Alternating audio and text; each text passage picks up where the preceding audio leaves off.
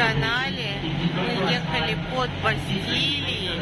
Вот тут все время такие а, как ну, в потолке люки.